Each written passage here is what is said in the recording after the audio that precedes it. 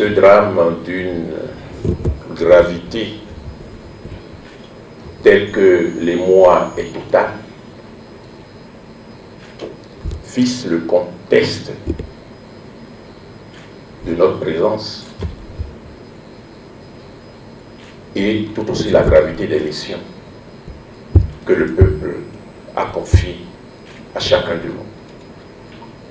Être le garant de sa sécurité, ne pas lésiner sur son énergie, sur ses moyens, sur sa disponibilité, sur son intelligence, sur sa présence, pour faire en sorte que les défis les plus importants puissent être levés, pour que le citoyen, où il se trouve, dans sa vie, dans son lieu de travail, dans son lieu de prière, dans ses activités, dans ses relations diverses et variées, puisse être fier d'être béninoise et d'être béninois. Ce drame transforme notre élection, votre élection, en une condamnation à réussir. Ce n'est pas de la réjouissance. Ce drame nous situe sur le fait que si d'autres ne doivent pas périr dans ces conditions, cela dépendra en grande partie de nous.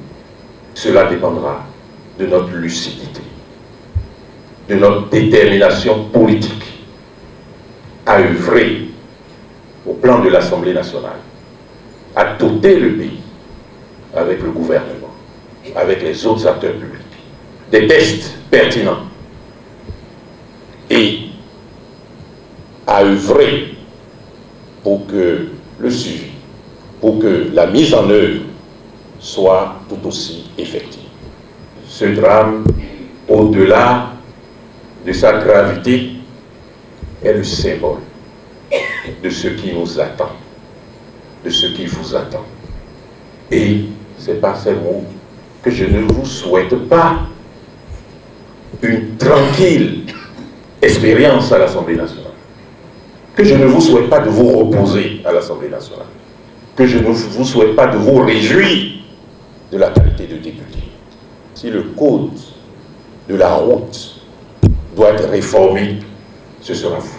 Si les dispositions qui dépassent celles auxquelles nous sommes habitués, qui nous donnent à être des conservateurs,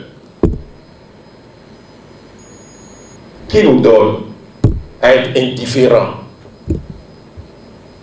à nos propres tendances, si ces dispositions doivent être introduites dans le code de la circulation, cela défend du courage que chacun de vous aura et que le peuple attend. Cela dépend de votre intrépidité.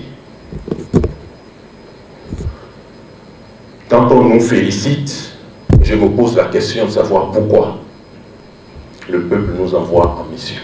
En sachant que le cheminement n'est pas facile, que les moyens ne sont pas si importants que cela, mais qu'ils comptent sur chacun de nous, sur chacun de vous. Et le parti ne peut que faire comme le peuple.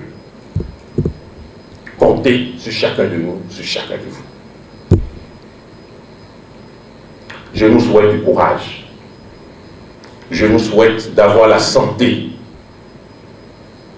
Je nous souhaite surtout de ne pas nous concentrer sur le détail, sur l'accessoire. À chaque occasion, d'avoir la lucidité d'identifier le principal et de nous y attaquer.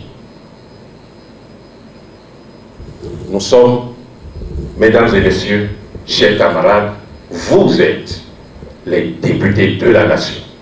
Vous n'êtes pas le député de la première circonscription électorale.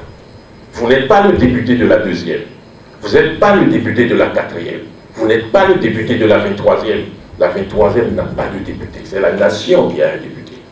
Le député de la première circonscription électorale a pour mission d'assurer la sécurité des citoyens de la 24e circonscription électorale de toute la nation. Le député élu dans la 24e circonscription électorale a pour mission d'assurer la sécurité, la tranquillité, l'épanouissement de tous les citoyens qui sont dans la première circonscription électorale. Donc nous ne sommes pas des députés de, nous sommes des députés élus dans la circonscription électorale, mais de la nation. De la nation. Cela en ajoute davantage à la charge qui est la nôtre.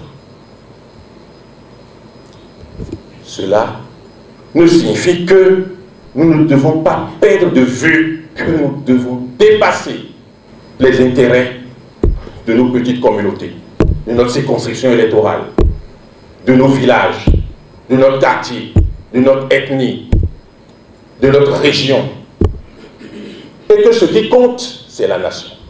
Il en est ainsi, regardez le contexte actuel, le drame. Le drame nous unit dans sa perfide gravité. C'est une route inter-État. Et donc, si on ne pense pas nation, on ne règle pas ces problèmes.